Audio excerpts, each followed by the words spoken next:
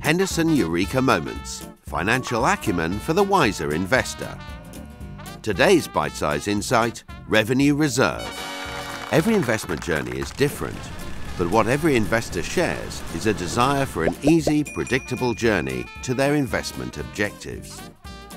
Dividends can be a source of regular, reliable income, but how reliable they are can be anyone's guess. So, to keep on track during the good times and the bad, a healthy revenue reserve can be a vital tool, exclusive only to investment trusts. To help you understand how this resource works, we're going to talk trains.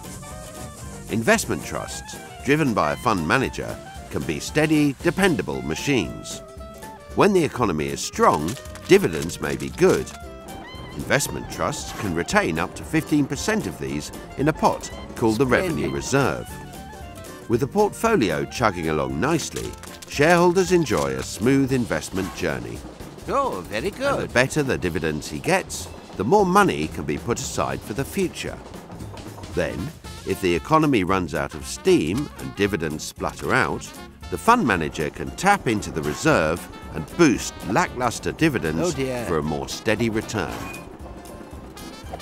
Economic volatility can derail the regularity of your income, but the right investment trust can keep your income running smoothly through the ups and the downs. Terrific! And that's Revenue Reserve. At Henderson, we believe that knowledge shared is a problem solved. For more expert insights, visit hendersoninvestmenttrusts.com.